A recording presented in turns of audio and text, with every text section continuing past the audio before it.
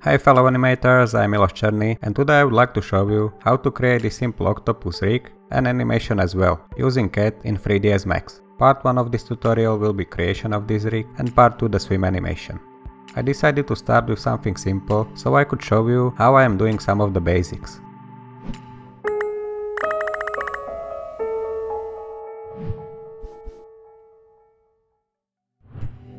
So let's create an empty cat parent first.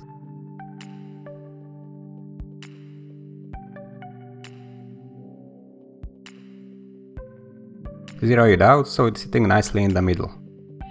And create a pelvis.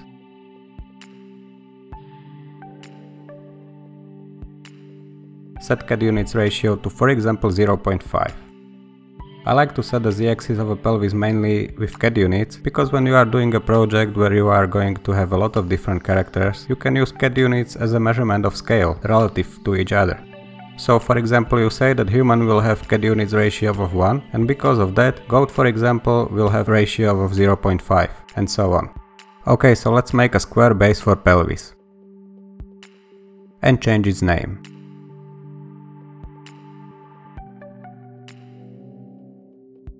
Now make a basic cylinder object which will be our helper for setting up legs.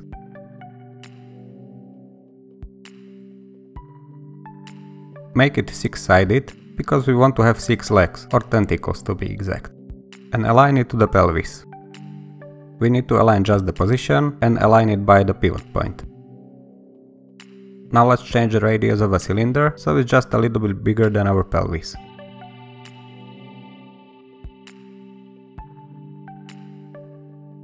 Like so for example.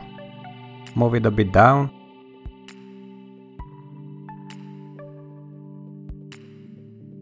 and change its height so it won't get in our way. Good.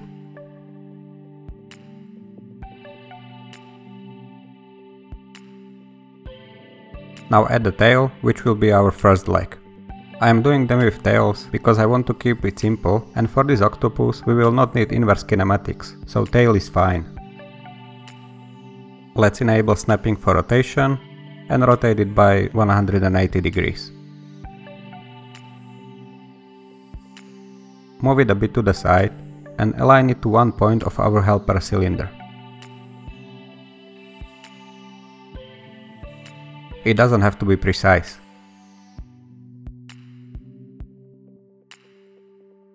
That's just fine. Now rotate it by let's say 15 degrees.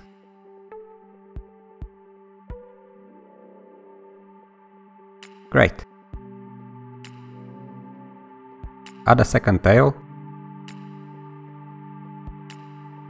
copy values of the first one and click paste as mirrored. Good, but now if we select the tail bones, try to rotate them, we will see they move together, which is not good for us, because we want them to move in opposite directions.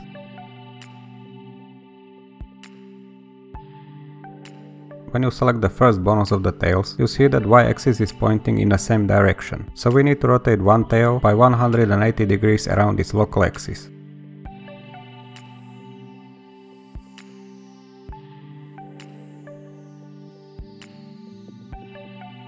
Now when we select the bones and rotate, we can see that we got what we wanted.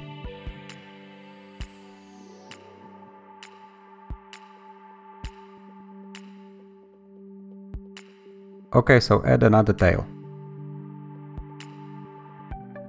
Copy the first one and paste bone settings, but not mirroring them. Select one of the tail, doesn't matter which one, and again move it to another point of our helper cylinder. Because we pasted bone settings before, we don't have to care about the axis now, it will stay the same. Okay, that's fine. Now rotate it by 60 degrees around world axis.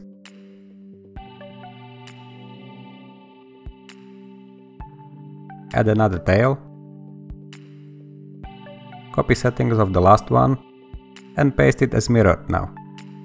Cool.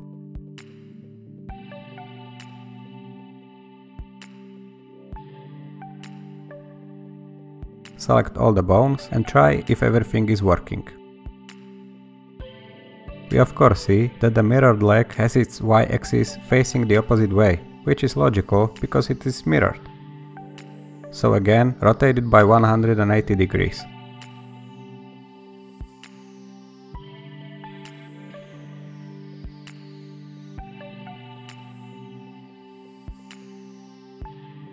Now everything's working just fine. So let's create final two legs with the same principle and we're almost done. Copy and paste.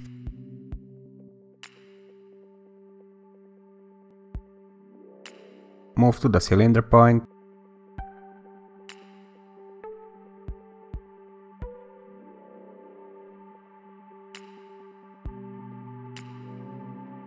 Rotate. and check axis. Add last tail, copy and paste as mirrored. Rotate by 180 degrees and check for the one last time.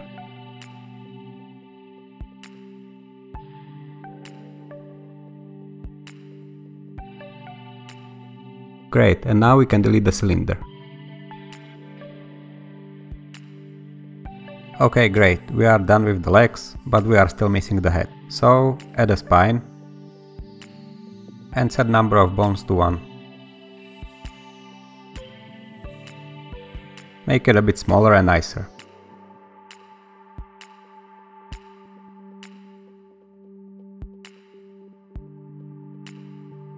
The pivot point of the neck doesn't need to be in the middle of the pelvis, so let's move it up a bit. Like so, so it's nicely aligned. Move head down and change its dimensions so it matches the pelvis.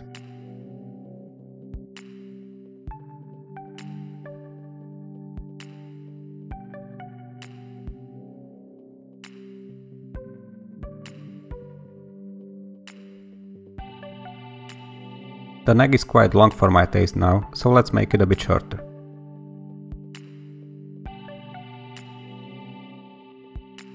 But now we want to move head up. The thing is, CAT doesn't allow that, because neck is tied to the head pivot point. However, we can use a simple trick to get around it. We apply edit poly modifier to the bone, and now we can change it however we like.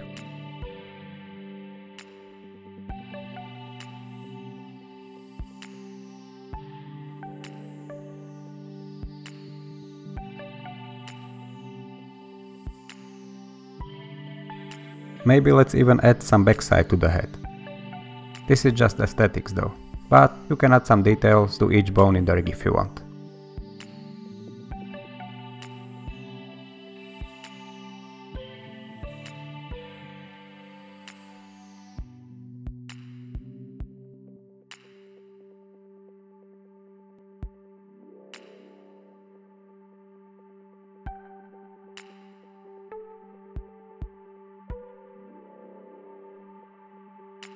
Okay, fine. When we are done, just right click in the modifier stack, click on Collapse To, and now you can use this checker box. You can see that the pivot point of a cat bone will stay in the same place, which is what we wanted. Now let's do something similar to the pelvis bone as well.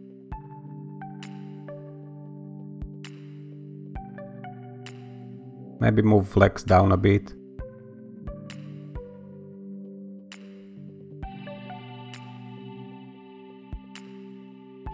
We can make neck even shorter. And change pelvis bone as we like.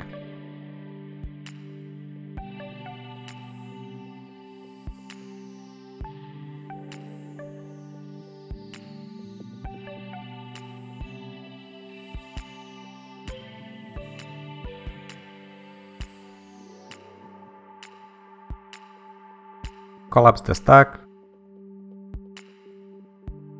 and we are done. As some final touches, you should rename the bones to keep your rig nice and tidy.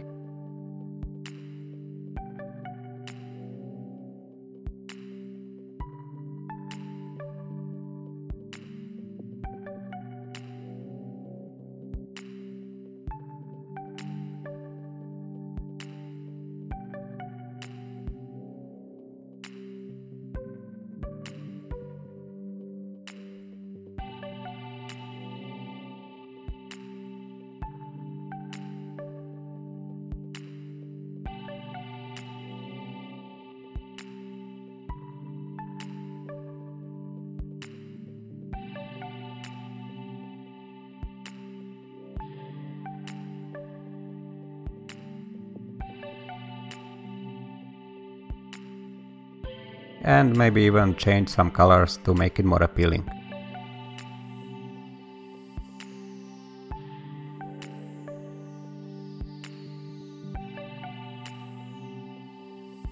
Great. Now we are all done. We can start to animate. I will show you how to create simple swim cycle animation in a part 2 of this tutorial. I am Miloš Černý and thank you for watching. Don't forget to subscribe, like or comment if you want to see more. Thank you.